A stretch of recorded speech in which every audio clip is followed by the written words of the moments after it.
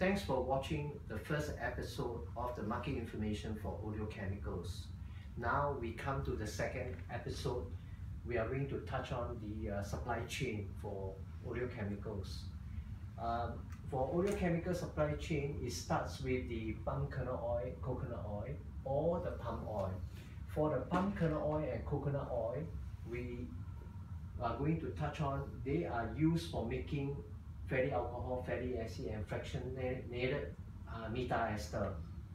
And 80% uh, of the palm kernel oil CNO are used for food application.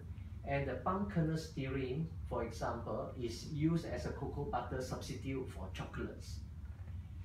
For the 1214 alcohol, is used for making fatty alcohol ethoxylate 2 moles.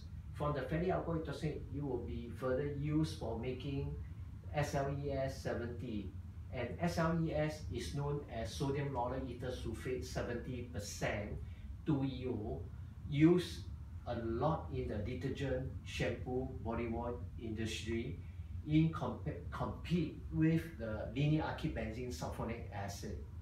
And the linear alkyl benzene sulfonic acid are mainly derived from the linear alkyl benzene from the crude oil. The 1618 alcohols can also be used for producing fatty alcohol ethoxylates. And these fatty alcohol ethoxylates are used uh, tremendously as an emulsifier in the textile uh, and the agricultural product industry. Next, we talk about palm oil. Palm oil is also a very important vegetable oil. 80% are used for as a cooking oil for food. And the 20% are used in making fatty acid. And the 20% are the palm stearin are used to make the stearic acid, stearates, and then stearate as a very important ingredient for making rubber additive and the lubricant additive and also used for making soap and noodles, soap noodles. Uh, palm oil recently due to the uh, energy and the green products a lot of palm oil are also be used for making fatty acid methyl ester which is used as a biodiesel. 5 to 10 percent uh, mixed with the diesel used in trucks for transportation.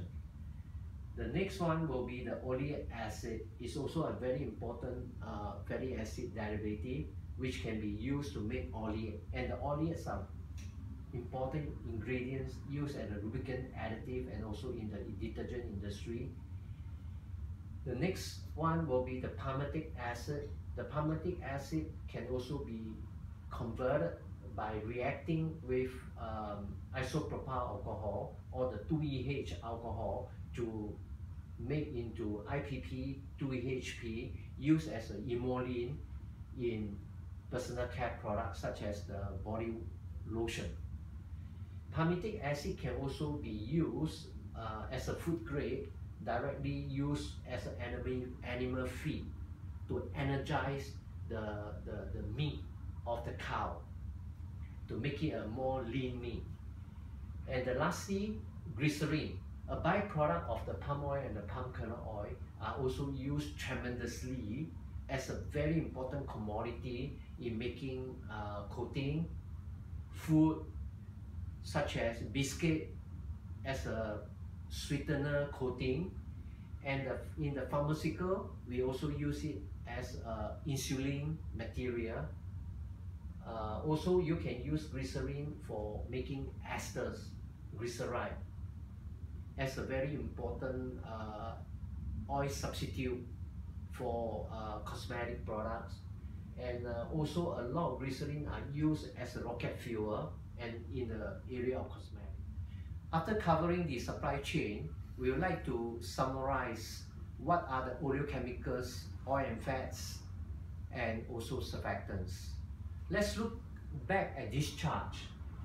The one that circle in blacks are for palm kernel oil, coconut oil, and the palm oil, palm olein, palm stearin, and the palm kernel stearin. These are covered under oil and fats. Those covered or circled in reds, these are the oleochemicals such as fatty alcohol, fatty acid, oleic acid, palmitic acid, and the glycerin. And the rest are covered for surfactants, which is underlined here. These are surfactants.